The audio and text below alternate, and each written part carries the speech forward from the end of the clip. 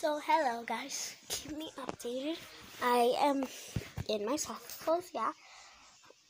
Um, I just finished soccer and yeah.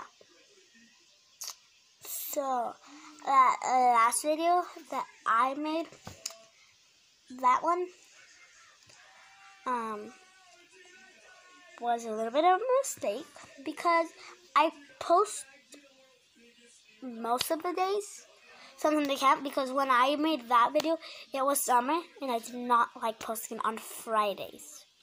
I posted a lot on the weekends, but now I'm really busy with soccer on the weekends and other things. So it's just like what I do. So it's just so hard. Like, um, I have to do soccer practice.